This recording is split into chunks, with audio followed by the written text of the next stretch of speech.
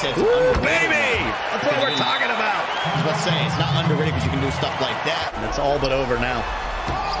And Brad, it's like, I'm still not giving up a bucket. Radiant on the other end. Showtime, the windmill.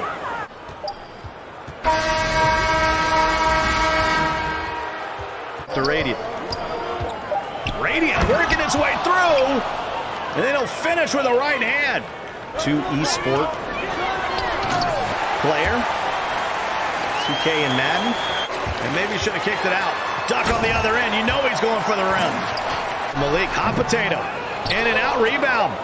Up ahead. Radiant. And he will beat the buzzer. The way that I always look at it is when you, in the retail version, Ooh, good move there by Rob. Oh, when a center gets their takeover and they start to go in this five out set and then just try to go one on one and score. But Rob's uh, got that back to back times on bread now.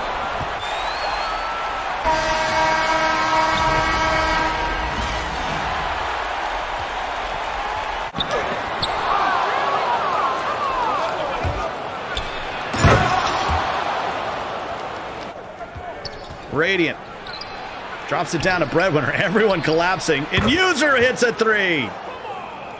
Feels like a year ago.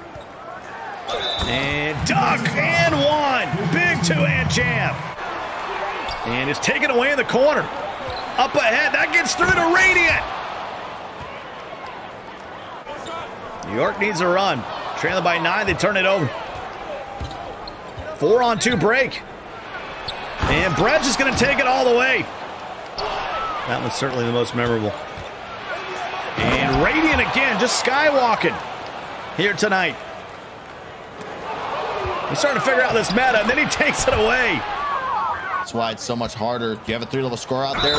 Bid for spacing unless oh somebody hard pinches on you. Breadwinner. Angry Jam. This is actually the closer game right this instant.